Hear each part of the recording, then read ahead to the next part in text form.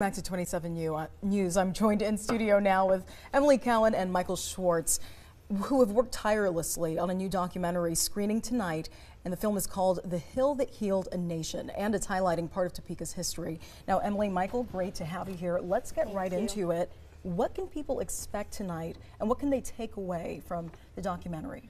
Well, this is a project that we've been working on for close to a year now, and people can expect of the full range of this clock tower. This in even before the clock tower, you know, the, the Native Americans that settled there and had the land uh, previous to that, and when SBA, uh, Security Benefit Association, and then the Menningers. Uh, and there's some exciting news there at the end about where the clock tower is now, so people can expect a full range of from beginning to end of this whole property that healed a nation. Okay. Now, that area has had a rich history. What are some things that this documentary explores that people may not have heard of? So uh, I think one of the uh, most interesting things um, that it touches on is the Native American history. Uh, when I originally started researching the Hill, that wasn't something that I was aware of, but also its ties to the Oregon Trail and other things like that. Okay. And what are some things that you may have learned as well that you didn't know before when you were exploring this documentary?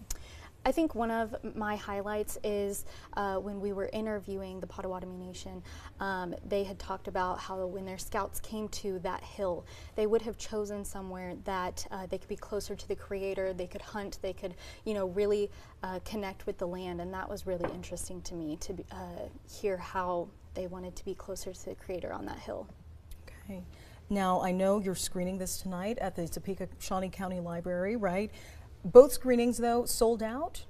So it was sold out uh, up until about an hour ago when we got a call from the Topeka Library that have, they have extended 50 seats per screening. So if you didn't get a chance to reserve your tickets, you can still just show up. We're just kind of taking people as they come in now. So feel free to come and enjoy the film. Okay, amazing. And if they can't catch it there, where else can they catch this?